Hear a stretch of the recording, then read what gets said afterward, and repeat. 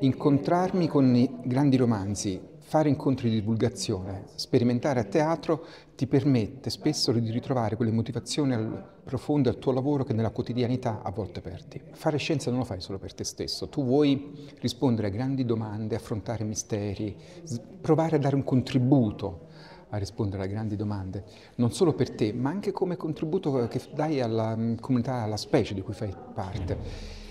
E quindi vuoi comunicare, cioè la scienza senza comunicazione, senza condivisione non sarebbe scienza, non sarebbe conoscenza, la conoscenza è tale quando è condivisa.